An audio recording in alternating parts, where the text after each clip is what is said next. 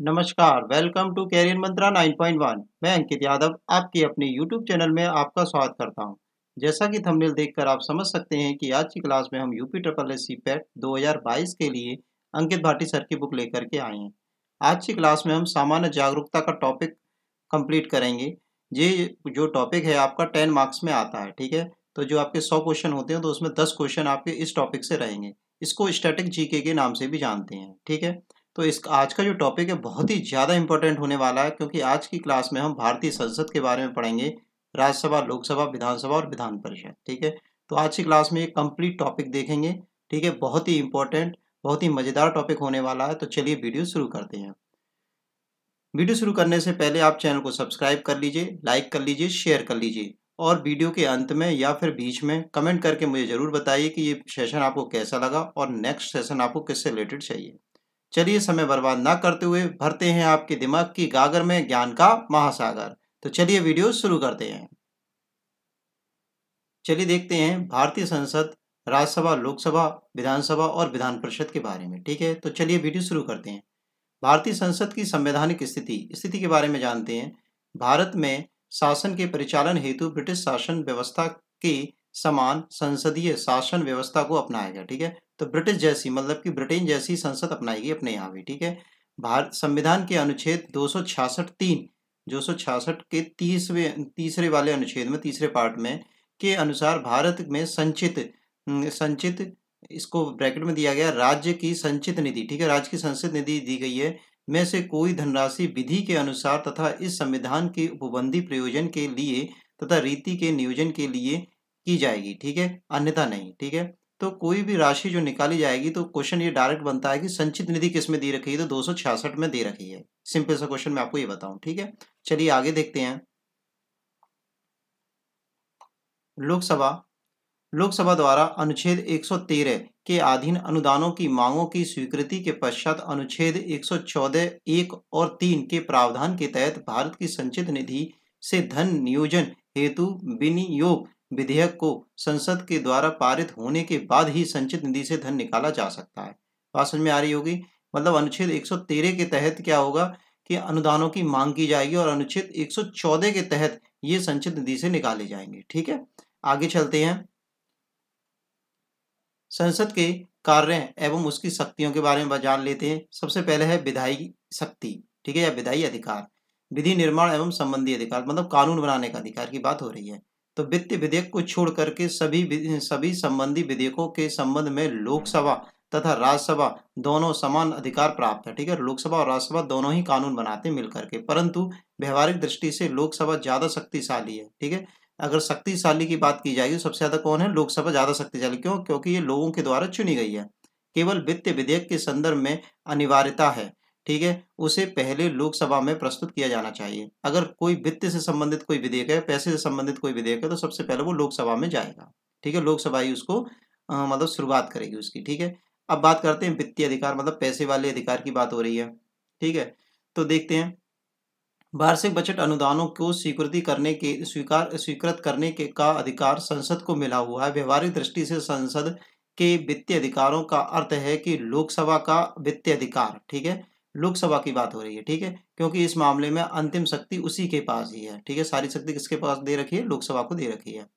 लोकसभा में पारित होने के बाद ही वह राज्यसभा में पास पास स्वीकृति के लिए भेजा जाएगा और वह उसे केवल मात्र चौदह दिन तक ही रोक सका, रोक सकता है, ठीक है? तो अगर कोई भी विधेयक लोकसभा से पास होकर के धन का विधेयक राज्यसभा में जाता तो वो केवल उसे चौदह दिन के लिए ही रोक सकता है राज्यसभा। आगे देखते हैं, कार्यपालिका पर नियंत्रण संबंधी अधिकार। संसद के दोनों सदनों के सदस्यों को मंत्रिपरिषद के सदस्यों अर्थात प्रधानमंत्री सहित सभी मंत्रियों से प्रश्न प्रश्न एवं पूरक प्रश्न पूछने तथा उनके कार्यों की आलोचना करने का अधिकार होता है, ठीक है? सभी मंत्रिपरिषद के सदस्य जो होते हैं, आपस में एक दूसरे से प्रश्न पूछते हैं, ये ये अधिकार है। संविधान संशोधन संबंधी अधिकार, अब संविधान संशोधन कैसे होगा? तो ये क्वेश्चन ज़रूर बनता है, अनुच्छेद दो, तीन सौ अड़सठ संविधान के अनुच्छेद तीन सौ अड़सठ के अनुसार भारतीय संसद को संविधान में संशोधन करने का अधिकार प्राप्त है। 1967 में गोलकनाथ बनाम पंजाब राज्य के प्रसिद्ध मुकदमों के निर्णय को बदलकर 1973 में केशवानंद भारती मुकदमे के ऐतिहासिक निर्णय में इसे वैध घोषित किया गया कि संविधान के मूल स्वरूप में बदलाव संशोधन द्वारा नहीं किया जा सकता, ठीक है? जो मूल स्वरूप बनाया गया संविधान का, उसमें छेड़छाड़ नहीं की जाएगी पर उसमें हम कोई नई चीज़ जोड़ सकते हैं, पर उसका जो वैसा मूल ढांचा है, वो चेंज नहीं होना चाहिए।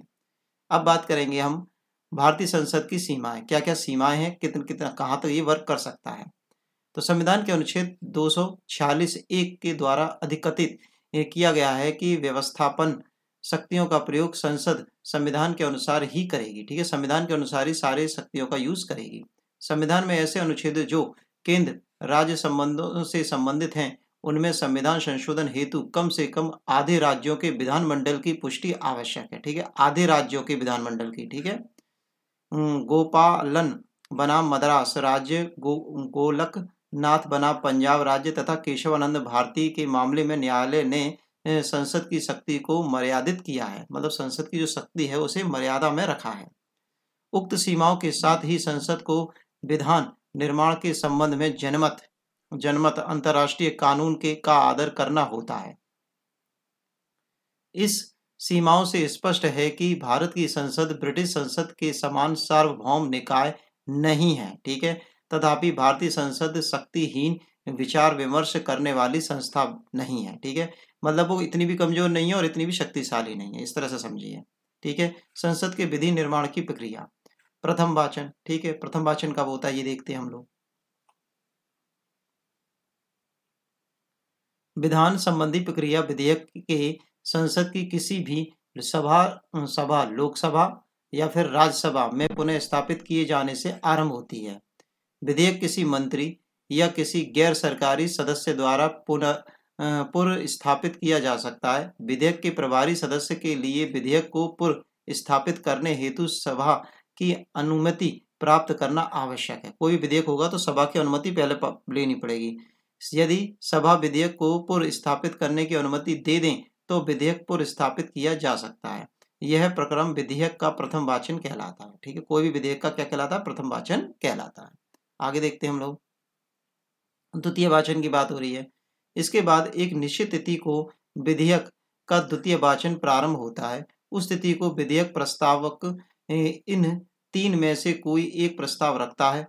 विधेयक कौन कौन से प्रस्ताव हैं? एक, दो, तीन, तीनों प्रस्ताव देख लेते हैं। विधेयक प्रवर समिति के विचारार्थ सौंप दिया जाता है। जनमत जानने के लिए प्रस्तावित किया जाता है मतलब जनमत जानने के लिए जन, जनता क्या मत है, उस पर तत्काल विचार विमर्श किया जाता है। अब बात करेंगे हम तृतीय वाचन की। तृतीय वाचन में साधारणतः विधेयक के अस्पष्ट शब्दों को अधिक स्पष्ट करने तथा उसे, उसमें भाषा संबंधी सुधार किए जाते हैं। विधेयक पर मत लिए जाते हैं। यदि बहुमत विधेयक के पक्ष में हो तो सदन के माध्यम से विधेयक को पारित हुआ, प्रमाणित करके उसे दूसरे सदन में भेज दिया जाता है। ठीक है? सिंपल सी बात है लैंग्वेज सिंपल है कि जैसे ही सब लोग सहमत हो जाएँगे, ज़्यादा विधेयक, उस विधेयक से तो क्या दूसरे सदन में वो चला जाएगा। अब बात करते हैं वित्तीय विधेयक के संबंध में कुछ खास बात है। ठीक है? तो वित्तीय विधेयक की बहुत इंपॉर्टेंट है, उसको लोकसभा में ही पेश किया जा सकता है तो उसकी बात कर लेते हैं। संविधान के अनुच्छेद 110 में यह स्पष्ट उल्लेख किया गया है किस प्रकार के वित्त किस प्रकार के विधेयक वित्तीय विधेयक कहे जाएँगे, ठीक है? अनुच्छेद 110 में ये बात कही गई है। कोई विधेयक वित्तीय विधेयक है या नहीं, इसका निर्णय लोकसभा का अध्यक्ष द्वारा ही किया जा सकता है, ठीक है? लोकसभा का अध्यक्ष बताया कि ये पैसे वाली बात हो रही है, नहीं हो रही है। वित्तीय विधेयक की बात हो रही है, नहीं हो रही है। पहला पॉइंट क्या है इसमें? वित्तीय विधेयक राष्ट्रपति की अनुमति से प्रस्तावित किए जाएँगे केवल लोकसभा में, ना कि राज्यसभा में, ठीक है? ये कई बार बात आ चुकी है। दूसरी पॉइंट क्या है? लोकसभा द्वारा पारित होने पर वित्तीय विधेयक, राज्यसभा में वित्त विधेयक पर अपना मत प्रकट करने का अधिकार है। अब बात करते हैं संसद का विशेषाधिकार।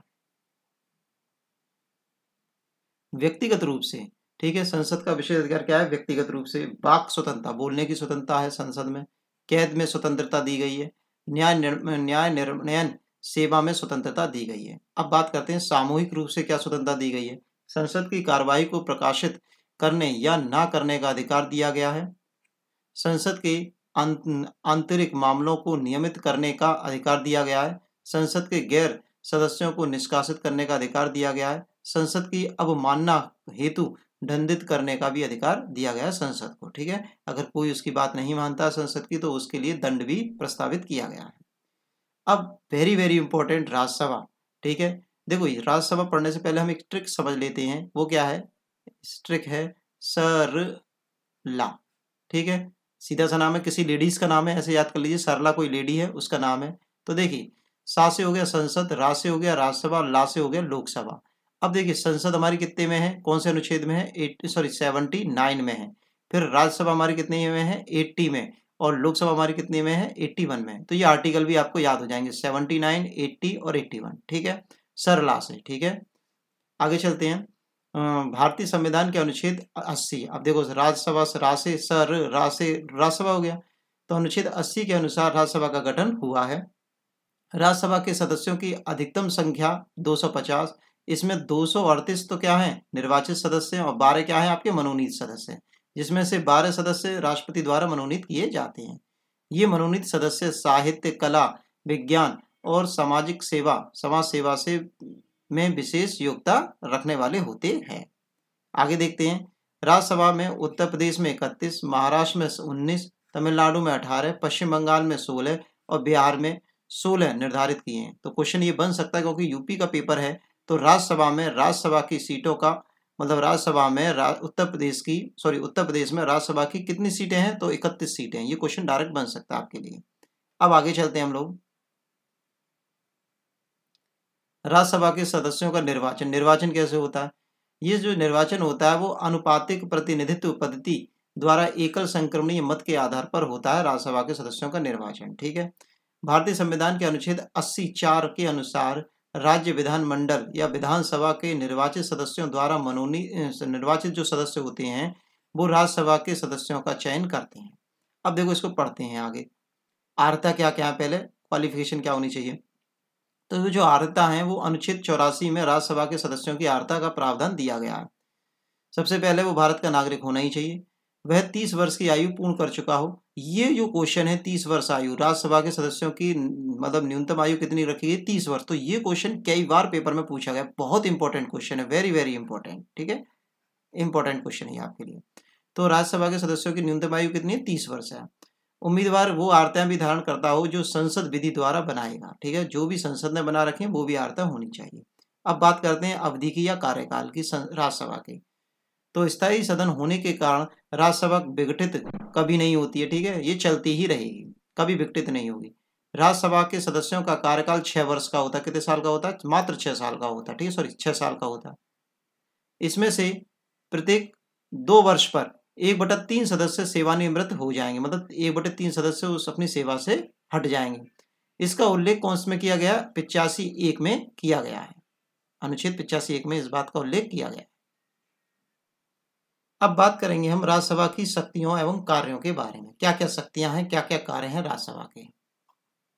देखो, सबसे पहले विधायी मतलब कानून बनाने का अधिकार दिया गया। राज्यसभा की शक्ति, संविधान संशोधन विधेयक के संदर्भ में लोकसभा शक्ति के बराबर है, बिल्कुल सही। वित्त विधेयक के मामले में राज्यसभा को लोकसभा से कम शक्ति दी गई है। बिल्कुल सही पढ़ चुके हैं हम लोग। इस संदर्भ में राज्यसभा को चौदह दिन के भीतर विचार कर अपनी राय लोकसभा में भेजनी होगी। जो भी अपनी राय होगी, वो चौदह दिन के अंदर राज्यसभा में, सॉरी, लोकसभा में अपनी जो भी अपनी मत है, वो भेजना होगा या राय अपनी भेजनी होगी। उपराष्ट्रपति के चुनाव में राज्यसभा के सदस्य भाग लेते हैं। बिल्कुल सही बात है। राज्यसभा में भी उपराष्ट्रपति को हटाने का प्रस्ताव लाया जा सकता है। अगर उपराष्ट्रपति को हटाना है तो ये काम केवल राज्यसभा से शुरू होगा, लोकसभा से नहीं होगा, क्योंकि उपराष्ट्रपति जो होता है, वो राज्यसभा का पदेन सभापति होता है।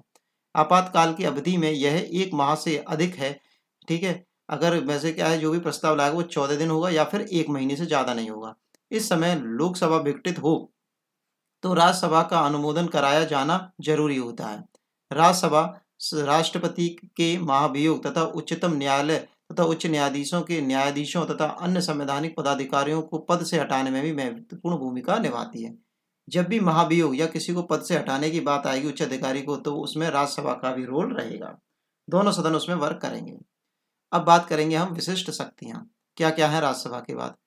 राज्यसभा के पास में अनुच्छेद टू फोर नाइन ठीक है? दो सौ उनचास के अंतर्गत राज्यसभा में उपस्थित उपस्थिति एवं मतदान करने वाले दो तिहाई सदस्यों के बहुमत से राज्य सूची में शामिल किसी विषय को संसदीय महत्व को घोषित कर सकती है। ज्ञात है कि जेल, पुलिस, कानून व्यवस्था, स्वास्थ्य, स्वच्छता राज्य सूची का ही एक विषय है।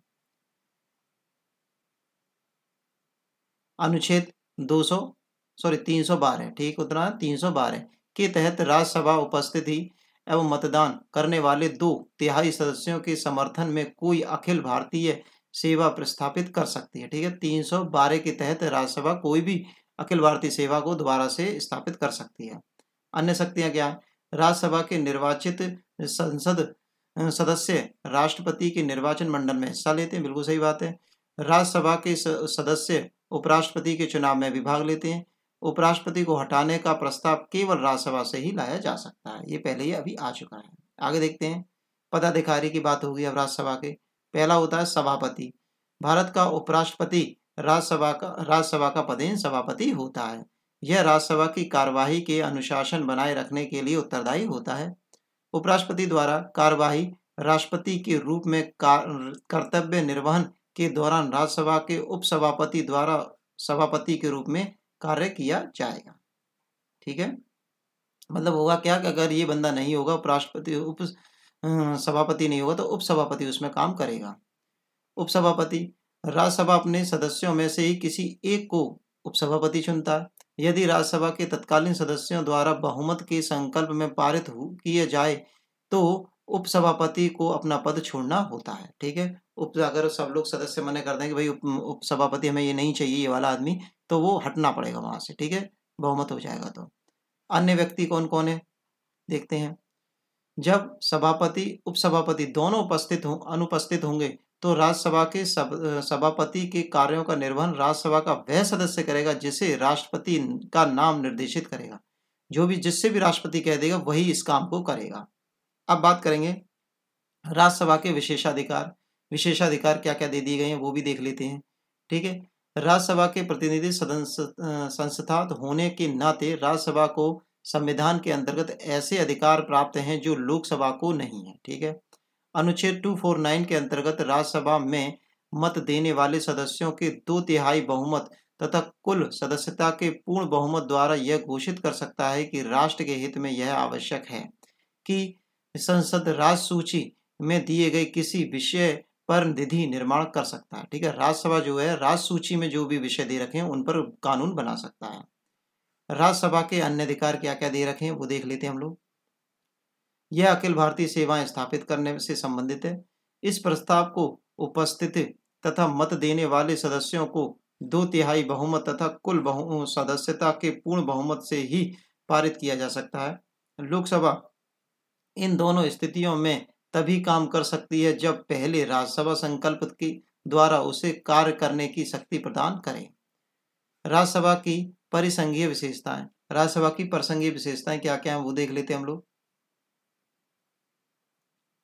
अनुच्छेद 312 के अनुसार राज्यसभा में उपस्थित और मत देने वाले सदस्यों में से कम से कम दो तिहाई सदस्यों द्वारा समर्पित संकल्प द्वारा यह घोषित किया जाए कि राष्ट्र, राष्ट्रीय हित में ऐसा करना आवश्यक है और समीचीन है, जो संसद विधि द्वारा विधि द्वारा संघ राज्यों के लिए सम्मिलित एक या अधिक अखिल भारतीय सेवाओं के सृजन के लिए उपबंध कर सकेगी, ठीक है? तो ये जो राष्ट्र हित में होना चाहिए, तब जो है उस पर कानून वगैरह बनेगा, ये मतलब निकल के आ रहा है इस बात का। यदि संविधान संशोधन विधेयक का संदर्भ है तो राज्यसभा में पृथक रूप से पारित होना चाहिए। अगर संशोधन की बात हो रही है तो वो राज्यसभा में भी पारित होना चाहिए। साधारण विधेयक तथा वित्तीय विधेयक पर राज्यसभा की सहमति होनी चाहिए, दोनों पर सहमति होनी चाहिए। मंत्रिपरिषद के सदस्यों को राज्यसभा में भी लिया जा सकता है। मंत्रिपरिषद के जो सदस्य हैं मतलब प्रधानमंत्री का जब, प्रधानमंत्री आता है, जैसे लोकसभा चुनाव होते प्रधानमंत्री बनेंगे और फिर उनका मंत्रिमंडल बनेगा तो मंत्रिपरिषद जो होगा, उसमें राज्यसभा से भी सदस्य लिए जा सकते हैं। राष्ट्रपति के महाभियोग के प्रस्ताव पर पृथक रूप पृथक रूप में राज्यसभा में कम से कम दो तिहाई सदस्यों का समर्थन अनिवार्य है, ठीक है? दो तिहाई सदस्य ज़रूरी हैं। अब बात करेंगे हम लोग राज्यसभा के, की वास्तविक स्थिति के बारे में। वास्तविक स्थिति है क्या राज्यसभा की? राज्यसभा को संविधान के संशोधन के विषय में लोकसभा के समान शक्ति प्रदान है, कई बार आ गई आती है। राज्यसभा में मंत्रियों की नियुक्ति की जा सकती है। इस परंपरा से भी राज्यसभा के महत्व का आभास होता है। कि केंद्रीय मंत्री प्राय राज्यसभा में उपस्थित होते हैं। धन विधेयक के संबंध में संविधान के अनुच्छेद 109 दो के तहत लोकसभा और राज्यसभा की सभी या किन्हीं सिफारिशों को स्वीकार या अस्वीकार कर सकती है। ठीक है, राज्यसभा किसी को स्वीकार करे या ना स्वीकार करे, वो अनुच्छेद 109 में कहा गया है। धन विधेयक के संबंध में संविधान के अनुच्छेद 109 तीन के अनुसार लोकसभा, राज्यसभा की किसी सिफारिश को को स्वीकार कर लेती है। तो धन विधेयक राज्यसभा द्वारा सिफारिश किए गए तथा लोकसभा द्वारा स्वीकार किए गए संशोधन सहित दोनों सदनों द्वारा पारित किया गया समझा जाएगा। मतलब अगर वो स्वीकार कर लेगी, स्वीकार करे ना करे, वो दोनों बातें ऊपर वाले में 109 दो में, पर अगर स्वीकार कर लेती है, वो तीन में चला जाएगा, ठीक है? तो स्वीकार कर लेती है तो ये बात समझी जाएगी, वो दोनों सदनों से पास हुआ है। आगे देखते हैं। अनुच्छेद 109 चार के अनुसार यदि लोकसभा, राज्यसभा की किसी सिफारिश को स्वीकार नहीं करती है तो धन विधेयक राज्यसभा द्वारा सिफारिश किए गए किसी संशोधन के बिना दोनों सदनों द्वारा उस रूप से पारित समझा जाएगा, जिसमें वह लोकसभा द्वारा पारित किया गया था। अब बात करते हैं अनुच्छेद 113 दो के तहत। अनुदान की मांगे लोकसभा में ही मतदान के लिए रखी जाएँगी। कोई भी अनुदान मतलब मांग हो रही है किसी पैसे वगैरह की तो किसमें जाएगी? केवल लोकसभा में जाएगी। उन्हें अनुमति देने या ना देने तथा विनष्ट रकम को कम करने की अनुमति देने की शक्ति लोकसभा को ही है। केवल लोकसभा को सारी शक्ति दी गई है, पैसे से रिलेटेड। राज्यसभा उन सभी कार्यों को करती है जो परंपरागत रूप से द्वितीय सदन के द्वारा किए जाते हैं।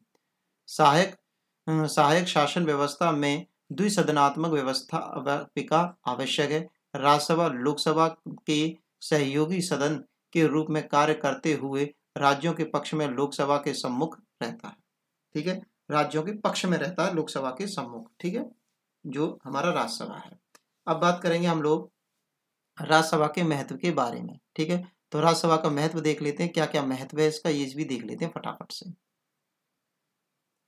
लोकसभा द्वारा जल्दबाजी में में पारित किए गए विधेयकों को रोक कर राज्यसभा उस पर पुनर्विचार का अवसर प्रदान करती है। अगर कोई विधेयक जो है, लोकसभा ने जल्दी से पेश कर दिया, टाइम नहीं दिया, जल्दबाजी में पेश कर दिया तो उस पर क्या है, फिर राज्यसभा फिर से भेज देगी, भैया तो एक बार और पुनर्विचार कर लो भाई। इस तरह से। वह राज्यसभा के हितों की संरक्षिका है, जो संघीय सिद्धांत के अनुसार अनुरूप है।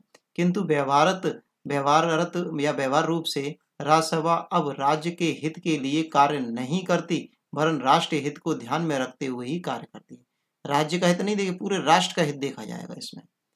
यह एक ऐसी सभा है जिसे, जिसमें देश के योग्य व अनुभवी राजनीतिज्ञ चुनाव की परेशानियों को झेले बिना ही सदस्य बन जाते हैं और इस प्रकार देश को उनके अनुभव और ज्ञान का लाभ प्राप्त होता है।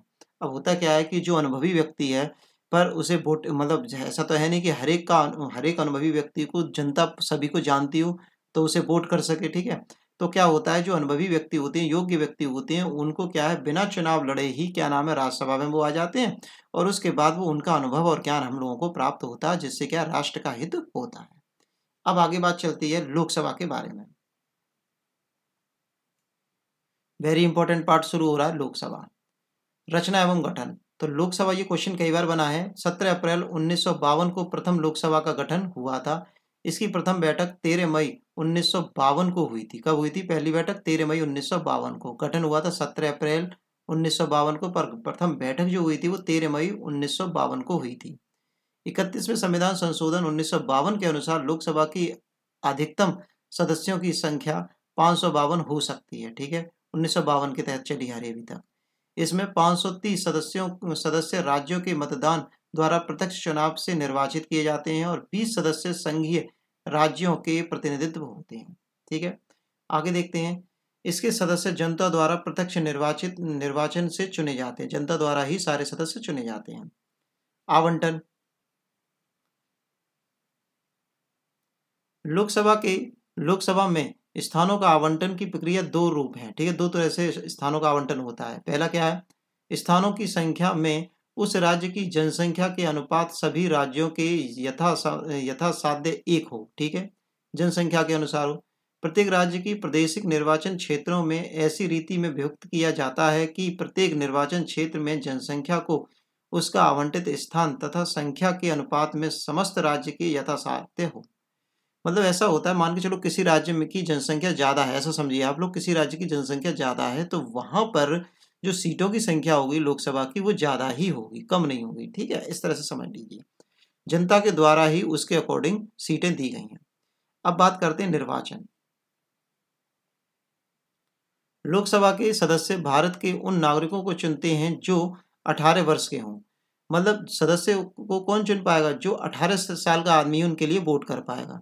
भारत में उन्नीस सौ बावन से लेकर अब तक सत्रह बार लोकसभा चुनाव हो चुके कितनी बार हो चुके सत्रह बार लोकसभा चुनाव हो चुके हैं। अवधि, लोकसभा लोकसभा का गठन अपनी प्रथम तिथि से पाँच वर्ष के लिए होता है। प्रधानमंत्री की सलाह पर लोकसभा का विघटन राष्ट्रपति द्वारा पाँच वर्ष से पूर्व भी किया जा सकता है। बिल्कुल सही है। राष्ट्रपति जो है प्रधानमंत्री को या लोकसभा को विघटित कर सकता है। संविधान के अनुसार लोकसभा के विघटन की स्थिति कितनी है? छह माह से अधिक नहीं रहनी चाहिए। ठीक है? अगर लोकसभा का विघटन हो गया है तो छह माह तक के अंदर अंदर क्या है, दोबारा से चुनाव करा लेने चाहिए। आगे है। लोकसभा के विघटन का क्या प्रभाव रहता है? लोकसभा के समक्ष लंबित सभी विधेयक समाप्त हो जाते हैं। जो विधेयक बीच में चल रहे होते हैं, वो वहीं के वहीं रुक जाते हैं। राज्यसभा में लंबित विधेयक जिसे लोकसभा ने पारित कर दिया था, वो समाप्त नहीं होते हैं, ठीक है? अगर लोकसभा कोई विधेयक पारित करके गई है और वो विघटित हो गई है तो वो राज्यसभा में जाएगा और फिर से क्या है वो पास किया जाएगा, ठीक है? मतलब वो क्या है? लंबित नहीं माना जाएगा, खत्म नहीं होगा। लोकसभा का अधिवेशन, लोकसभा का अधिवेशन एक वर्ष में कम से कम दो बार ज़रूर होना चाहिए। दोनों अधिवेशनों के बीच कम से कम छह माह का अंतराल अधिक नहीं होना चाहिए मतलब छह माह से ज़्यादा की गैपिंग नहीं होनी चाहिए। दो बार कम से कम होना चाहिए, छह माह से ज़्यादा की गैपिंग नहीं होनी चाहिए। सदस्यों का शपथ ग्रहण शपथ ग्रहण कैसे होता देखते हैं हम फटाफट से। संसद के सदस्यों को अपना स्थान ग्रहण करने से पूर्व राष्ट्रपति या उसके द्वारा नियुक्त किसी व्यक्ति के समक्ष शपथ ग्रहण करनी पड़ती है। बिना शपथ कोई शपथ कोई भी व्यक्ति संसद सदस्य नहीं बन सकता। अनुच्छेद निन्यानवे के अनुसार संविधान की तृतीय अनुसूची में दी गई प्रपत्र के अनुसार सदस्य को शपथ लेनी पड़ती है। एक प्रपत्र है अनुच्छेद निन्यानवे में और अनुसूची तीसरी में, तीसरी अनुसूची में कि क्या क्या शपथ हमें लेनी है उन सदस्यों को। अध्यक्ष एवं उपाध्यक्ष की बात करते हैं। देखिए, वहाँ पर सभापति और उपसभापति थे, यहाँ पे अध्यक्ष और उपाध्यक्ष हैं, ठीक है? लोकसभा अपने सदस्यों में से ही किसी एक को अध्यक्ष और उपाध्यक्ष का चयन करती है। अध्यक्ष लोकसभा का प्रमुख पदाधिकारी होता है। जब अध्यक्ष का पद रिक्त होता है तो उपाध्यक्ष उसके पद के कर्तव्यों का पालन करता है। लोकसभा के अध्यक्ष का निर्वाचन लोकसभा के सदस्यों द्वारा ही किया जाता है, ठीक है? जो भी सदस्य क्या नाम है, अध्यक्ष होगा, उसी के सदस्यों द्वारा ही उसका क्या होगा? लोकसभा के सदस्यों का निर्वाचन, जो भी निर्वाचन होगा, अध्यक्ष जो बनेगा, वो कौन कौन बनाएगा? लोकसभा के सदस्य ही बनाएँगे। लोकसभा अध्यक्ष के निर्वाचन की तिथि राष्ट्रपति द्वारा निर्धारित कर इसकी इसकी सूची लोकसभा के महासचिव को दी जाती है। लोकसभा का अध्यक्ष लोकसभा के सदस्य के रूप में शपथ लेता है, ना कि अध्यक्ष के रूप में। ये क्वेश्चन कई बार बना है, ये भी इंपॉर्टेंट क्वेश्चन है। कि जो लोकसभा का अध्यक्ष होता है, वो शपथ कैसे लेता है? मतलब लोग क्या लोकसभा का अध्यक्ष शपथ लेता है? नहीं लेता है। अगर वो शपथ लेगा तो वो किसके रूप में लेगा? सदस्य के रूप में लेगा, ना कि अध्यक्ष के रूप में। पहले सदस्य, वो शपथ ले लेता है वो। कार्यकारी अध्यक्ष के रूप में उस व्यक्ति को नामदर्ज किया जाता है, जो लोकसभा में वरिष्ठ होता है, ठीक है? कार्यकारी अध्यक्ष किसे बनाया जाता है? जो वरिष्ठ आदमी होगा, उसे कार्यकारी अध्यक्ष बनाया जाएगा। वेतन, भत्ते एवं पदाधिकार। लोकसभा के अध्यक्ष और उपाध्यक्ष को दिए गए वेतन भत्ते संसद संसद विधि द्वारा निर्धारित किए जाते हैं। लोकसभा के अध्यक्ष को राज्यसभा के सभापति, उपराष्ट्रपति के समान मासिक वेतन व भत्ते मिलते हैं। मतलब बराबर ही मासिक वेतन व भत्ते मिलते हैं। चौदह मई 2002 को संसद द्वारा पारित एक संशोधन विधेयक के अनुसार यदि लोकसभा के अध्यक्ष की मृत्यु हो जाती है लोकसभा के अध्यक्ष की मृत्यु हो जाती है उसके पद पर बने रहने के दौरान तो उसकी पत्नी या पत्नी या फिर पति, अगर लेडीज़ है तो फिर पति की बात होगी, या फिर परिवार को पेंशन आवास और स्वास्थ्य सुविधाएँ मिला करती हैं। अध्यक्ष और उपाध्यक्ष निम्नलिखित स्थितियों में से अपने पद से मुक्त हो जाते हैं। कैसे हो जाएँगे वो अपने पद से हट जाएँगे? वे राज्यसभा के सदस्य बन जाए जाके। अध्यक्ष या उपाध्यक्ष अपने पद, अपने पदों से त्यागपत्र देते हैं मतलब खुद छोड़ दें। यदि लोकसभा के सदस्यों के बहुमत से पारित संकल्प द्वारा उन अपने पद से हटा दिया जाए अगर लोकसभा के सदस्य मिलकर के उससे पद, उसके पद से हटा दें तो भी लोकसभा के अध्यक्ष और उपाध्यक्ष हट जाएँगे। अब हम बात करेंगे लोकसभा की अध्यक्ष की शक्तियों के बारे में। चलिए देख लेते हैं शक्तियाँ क्या क्या हैं लोकसभा के अध्यक्ष की। व्यवस्था संबंधी शक्ति मतलब व्यवस्था करता है। सदन की गरिमा बनाए रखना, सदन की कार्रवाई हेतु समय का निर्धारण करना मतलब कौन आदमी कितना बोलेगा। सदन एवं संसद संविधान के, एवं सदन की प्रक्रिया संबंधी नियमों की व्याख्या करना। अगर कोई गलत तरीके से अपनी बात कह रहा तो उसको बताना कि भाई ऐसे नहीं, ऐसे कहना, यहाँ तक आपके नियम है, इतने में ही आपको बोलना है। निरीक्षण तथा भर्तसना शक्तियाँ। संसदीय संसदीय समितियों की अध्यक्षता करता है। संसदीय संसदीय समितियों के अध्यक्ष को निर्देश देता है। सदन में बोलने के लिए सदन के सदस्यों को अनुमति देता है कि कहता है भाई, अब तुम बोलिए, अब तुम बोलिए इस तरह से। प्रशासन संबंधी शक्तियाँ क्या क्या प्रशासन संबंधी शक्तियाँ हैं वो भी हम देख लेते हैं फटाफट से। लोकसभा के सचिवालय पर नियंत्रण रखता है। लोकसभा के सदस्यों के लिए आवास एवं अन्य सुविधाएँ उपलब्ध कराता है। संसदीय समितियों के अभिलेखों की सुरक्षा रखता है। राज्य विधानमंडल अब बात आ गई है राज्य विधानमंडल की। देखो, लोकसभा, राज्यसभा हो गया और लोकसभा हो गया, संसद भी हो गया। संसद राज्यसभा और लोकसभा। अब राज्यों के विधानमंडल मतलब कि विधानसभा और लोकसभा, विधान परिषद की बात करेंगे। देख लेते हैं। संविधान के भाग छह के अनुच्छेद एक सौ अड़सठ से 212 तक विधानमंडल का प्रावधान किया गया केंद्र के तहत राज्यों में भी संसदीय प्रणाली को अपनाया गया है। ठीक है, संसदीय प्रणाली को भी अपनाया गया है।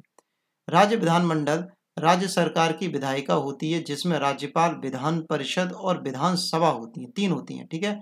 फ़र्स्ट नंबर पर राज्यपाल, सेकंड नंबर पर विधान परिषद और थर्ड नंबर पर आपकी क्या हो गई? विधानसभा भारतीय संविधान के अनुच्छेद एक सौ अड़सठ में यह प्रावधान है कि प्रत्येक राज्य का अपना एक विधानमंडल होगा, ठीक है? तो 168 में क्या हो गया? हमारा विधानमंडल हो गया, आप ये याद रखेंगे। ये क्वेश्चन डायरेक्ट बन सकता है कि किस आर्टिकल में विधानमंडल का उल्लेख है? तो 168 में, ठीक है? वर्तमान समय में केवल छह राज्य ऐसे हैं जिनमें द्विसदनात्मक व्यवस्था है, अर्थात विधानसभा और विधान परिषद को अपनाया गया है। ये राज्य कौन कौन से वो देख लेते हैं फटाफट से हम लोग। फ़र्स्ट नंबर पे कर्नाटक, महाराष्ट्र, आंध्र प्रदेश, तेलंगाना, उत्तर प्रदेश और बिहार। इन छह राज्यों में क्या है हमारी? विधान परिषद भी और विधानसभा भी मतलब द्विसदनात्मक व्यवस्था है। अब सबसे पहले बात करेंगे हम विधान परिषद की, ठीक है? हमारे यूपी में भी विधान परिषद है, ठीक है? दोनों सदन है हमारे में। निर्माण व उत्साधन ठीक है? इसका निर्माण कैसे होता है? कौन से आर्टिकल के तहत होता है? देखिए, ये आर्टिकल भी तीनों लाइन से ही है, ठीक है? अब देखो 168 में क्या हो गया हमारा? विधान मंडल हो गया। पर 169 में हमारा क्या हो गया? विधान परिषद हो गया, ठीक है? तो आगे चलते देखते हैं फटाफट से। संविधान के अनुच्छेद 169 मतलब कि एक सौ उनहत्तर के अंतर्गत विधान परिषद के निर्माण तथा उत्साधन की प्रक्रिया निम्नलिखित प्रकार से की गई है। राज्य द्वारा विधानसभा के दो तिहाई बहुमत से विधान परिषद के गठन तथा उत्साधन का संकल्प की पारित कर संसद के पास भेजा जाता है, ठीक है? विधानसभा के दो से दो तिहाई सदस्य विधान परिषद बनाते हैं, तभी वो बनेगी विधान परिषद। क्योंकि क्योंकि विधान परिषद के निर्माण व समाप्ति की अंतिम शक्ति संसद के पास है तत्पश्चात संसद उसे साधारण बहुमत के से पारित कर दे तो विधान परिषद के निर्माण एवं समाप्ति की प्रक्रिया पूरी हो जाती है। ऐसे राज्य जिन्होंने विधान परिषद को समाप्त कर दिया है, ठीक है? मतलब पहले यहाँ पर विधानसभा थी, अब नहीं है। कौन कौन से हैं? एक तो है सबसे पहले पंजाब, पश्चिम बंगाल, आंध्र प्रदेश और तमिलनाडु। पहले यहाँ पर विधान परिषद थी, सॉरी, विधान हाँ विधान परिषद थी, अब नहीं है यहाँ पर, ठीक है? अब बात करते हैं हम विधान परिषद की संरचना के बारे में। संविधान के अनुच्छेद 171 के अनुसार किसी राज्य की विधान परिषद में सदस्यों की कुल संख्या, विधानसभा के सदस्यों की कुल संख्या के एक तिहाई से अधिक नहीं होनी चाहिए। मतलब एक तिहाई से ज़्यादा नहीं होनी चाहिए। परंतु किसी राज्य की विधान परिषद के सदस्यों की कुल संख्या किसी भी स्थिति में चालीस से कम नहीं होनी चाहिए। मतलब एक तिहाई से ज़्यादा नहीं, पर चालीस से कम भी नहीं। संविधान के अनुच्छेद एक सौ इकहत्तर तीन में निर्दिष्ट रीति के अनुसार विधान परिषद के सदस्यों के निर्माण निर्माण इस प्रकार होता है। कैसे कैसे होता है? विधान परिषद का वो देख लेते हैं फटाफट से। एक तिहाई सदस्य, राज्य की स्थानीय संस्थाओं नगर पालिकाओं जिला बोर्ड से मिलकर एक निर्वाचन मंडल बना, द्वारा चुने जाते हैं। एक बटे तीन सदस्य विधानसभा के निर्वाचित सदस्यों द्वारा चुने जाते हैं। एक बटे बारह सदस्य वहाँ के रहने वाले निवासी जैसे, निवासी विश्वविद्यालय के स्नातकों द्वारा चुने जाते हैं। कम से कम तीन वर्ष से पढ़ा रहे हो, ठीक है, किसी विद्यालय में। एक बटे छह सदस्य राज्यपाल द्वारा मनोनीत किए जाते हैं, जो कि राज्य की कला, विज्ञान, साहित्य, समाज सेवा, सहकारिता से जुड़े हों, ठीक है? तो इन सबको जोड़ेंगे, एक बटा तीन, एक बटा तीन, एक बटा तीन, एक बटा बारह, एक बटा छः इन सबको आप जोड़ेंगे तो आपका क्या हो जाएगा, हंड्रेड परसेंट हो जाएगा, सॉरी, वन हो जाएगा टोटल पार्ट, ठीक है? आगे देखते हैं, राज्यपाल द्वारा मनोनीत एक बटे छह सदस्य सदस्य और विधानमंडल द्वारा निर्वाचित एक बटे तीन सदस्यों को छोड़कर विधान परिषद के शेष सभी सदस्यों को प्रादेशिक निर्वाचन क्षेत्रों में चुने जाते हैं। यह क्षेत्र संसद की विधि के आदि निर्धारित किए जाते हैं। अब बात करेंगे अवधि के बारे में। विधान परिषद की अवधि। यह एक स्थायी सदन है। संविधान के अनुच्छेद एक दो में यह प्रावधान किया गया है कि विधान परिषद किसी भी कभी भी विघटित नहीं होगी मतलब खत्म नहीं होगी। ये भी एक तरह से राज्यसभा की तरह है। प्रत्येक दो वर्ष बाद एक बटे तीन सदस्य सेवानिवृत्त हो जाएँगे और उतने ही नए सदस्यों का निर्वाचन कर लिया जाएगा, फिर से उतने ही आदमी आ जाएँगे। आगे देखते हैं। विधान परिषद प्रत्येक विधान परिषद का प्रत्येक सदस्य छह वर्ष की सदस्यता हासिल करता है, किंतु त्याग पत्र व मृत्यु की स्थिति में निर्धारित अवधि से पहले वे अपने पद से हट सकता है। आर्ता क्या क्या है? वह भारत का नागरिक हो, तीस वर्ष, ठीक है? इसका भी वो क्या है, एज कितनी तीस वर्ष है। राज्यसभा की भी तीस है और यहाँ की भी तीस है। मानसिक रूप से विकृत नहीं होना चाहिए, न्यायालय द्वारा उसे पागल घोषित नहीं किया जाना चाहिए। आगे देखते हैं। विधान परिषद की शक्तियों एवं कार्यों के बारे में बात कर लेते हैं। यह केंद्र व राज्यसभा के समकक्ष समकक्ष वाली स्थिति में है।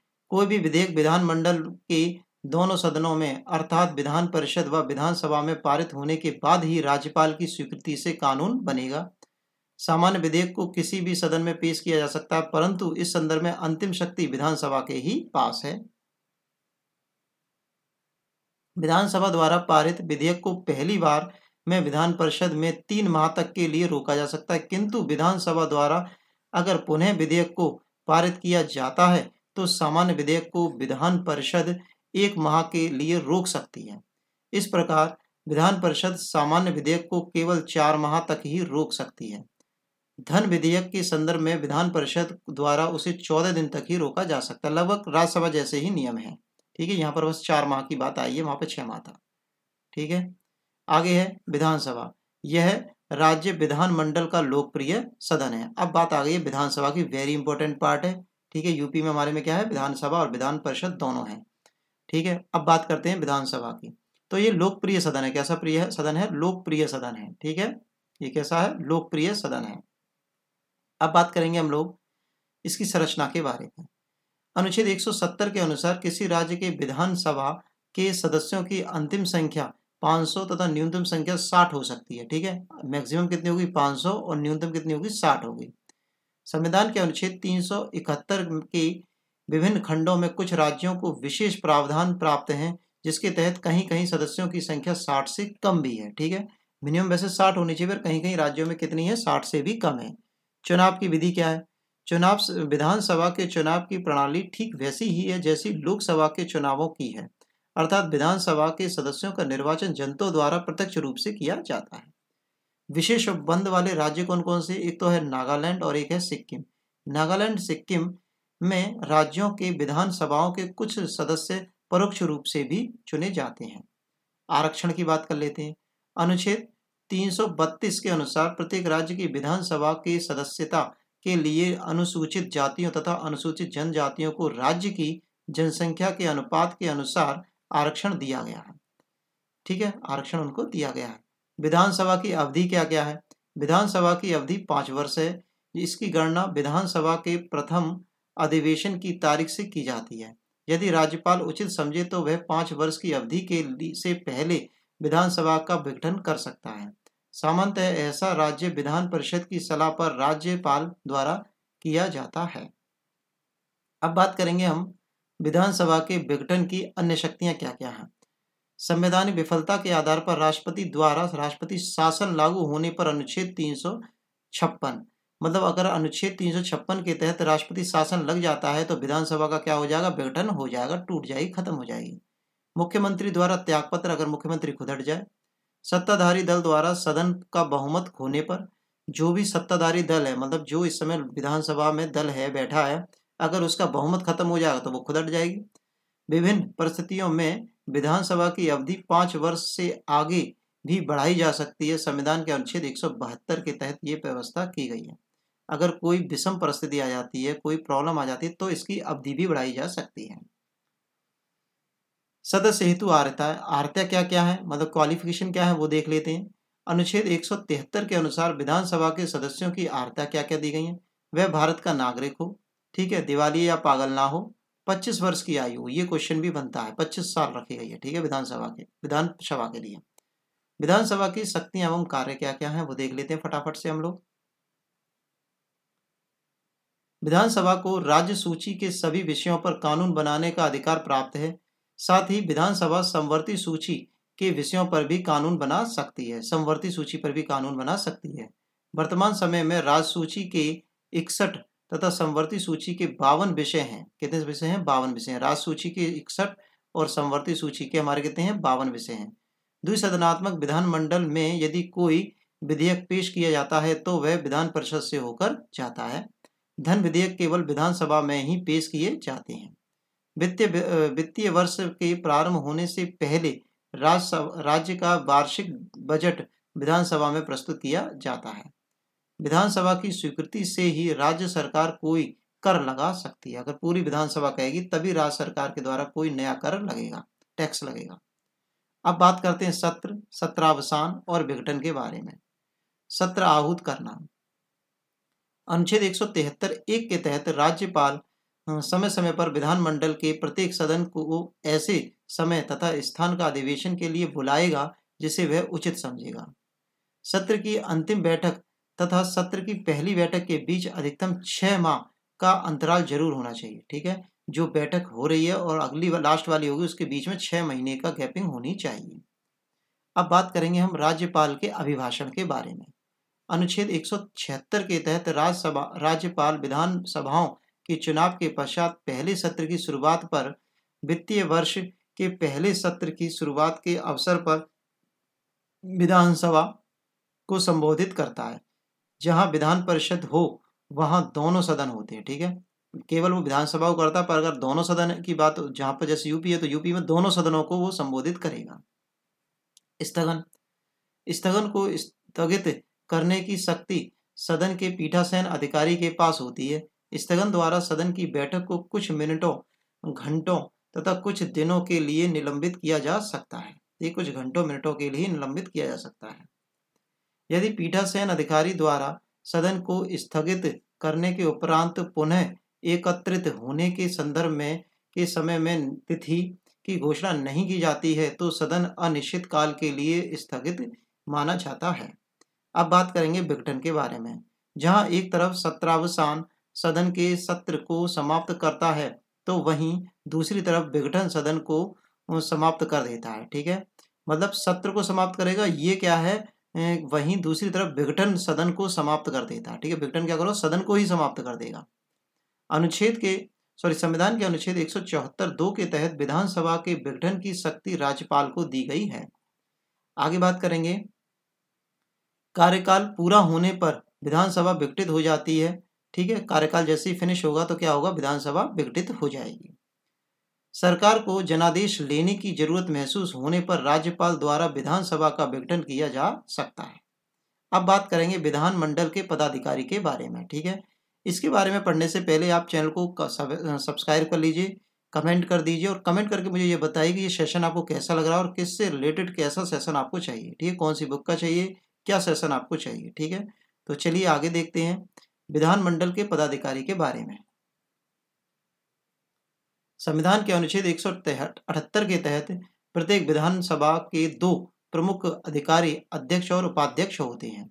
इसी प्रकार द्विसदनात्मक व्यवस्था वाले राज्यों की विधान परिषद में सदस्यों में से दो सदस्यों को क्रम से सभापति और उपसभापति बोलते हैं, ठीक है? देखो, विधानसभा में क्या होते हैं? सभापति और उपसभापति और विधान विधान परिषद में होते हैं, सभापति और उपसभापति और विधानसभा में क्या होते हैं? अध्यक्ष और उपाध्यक्ष। अनुच्छेद 180 दो के, दो में यह प्रावधान है कि अध्यक्ष और उपाध्यक्ष की अनुपस्थिति में अध्यक्ष के रूप में वह व्यक्ति कार्य करेगा जो विधानसभा द्वारा इस कार्य के लिए निर्दिष्ट किया जाएगा। मतलब विधानसभा जिस आदमी को बोलेगी, फिर वो काम करेगा, सारे बहुमत के द्वारा। सामान्यतः विधानसभा के अध्यक्ष और उपाध्यक्ष तब तक अपने पदों पर बने रहते हैं जब तक विधानसभा का विघटन ना हो जाए। ठीक है, अपने पदों पर बने रहेंगे जब तक वो खत्म नहीं हो जाएगी। अब बात करेंगे हम पदाधिकारियों के पद से मुक्ति की स्थिति के बारे में, वो कैसे अपने पद से हट सकते हैं? सदन के सदस्य ना होने की स्थिति में चुनाव अवैध घोषित हो जाए, स्वेच्छा से अपने पद से इस्तीफा दे दें। यदि सदन अपने तत्कालीन समस्त सदस्यों के बहुमत से संकल्प पारित करके उन्हें हटा दे, विधानमंडल की शक्तियों पर प्रतिबंध लगने पर वो हट जाएँगे। सॉरी, अब बात करेंगे विधानमंडल की शक्तियों पर प्रतिबंध क्या क्या लग सकते हैं? राष्ट्रपति की पूर्वानुति के बिना राज्य सूची के कुछ विषयों पर विधानमंडल कानून नहीं बना सकता। मतलब राष्ट्रपति से अनुमति लेनी पड़ेगी। राष्ट्रपति के विचारा, विचार, विचारार्थ भेजा हुआ विधेयक तभी कानून के रूप में प्रवर्तनीय होता है तब जब राष्ट्रपति उस पर अपनी सहमति प्रदान कर देता है। आगे देखते हैं। राज्य में संवैधानिक तंत्र की विफलता की स्थिति में राष्ट्रपति उस राज्य के विधानसभा को भंग कर सकता है। अगर संवैधानिक तंत्र ही विफल हो गया तो राष्ट्रपति वहाँ की विधानसभा को क्या कर देगा? भंग कर देगा। अब बात करेंगे हम गण पूर्ति ठीक है? गण की पूर्ति कैसे होती है? संविधान के अनुच्छेद 189 थर्ड मतलब एक सौ नवासी के अनुसार जब तक राज्य का विधानमंडल अन्यथा उपबंध न करे, तब तक अधिवेशन गठित करने के लिए गणपुत्री के दस तथा सदन के सदस्यों की कुल संख्या का दसवां भाग इन दोनों में में से जो भी अधिक होगा, की आवश्यकता होती है। मतलब दस सदस्य हों, या फिर क्या करेंगे, कुल सदस्य, कुल संख्या का दसवां भाग लिया जाएगा तो जो भी ज़्यादा होगा, वो लिया जाएगा। गणपुत्री के, पूर्ति के अभाव में सदन का स्थगन या निलंबन कर दिया जाता है। तब तक गणपूर्ति की रीति पूरी नहीं हो जाएगी, ठीक है, ना हो जाए।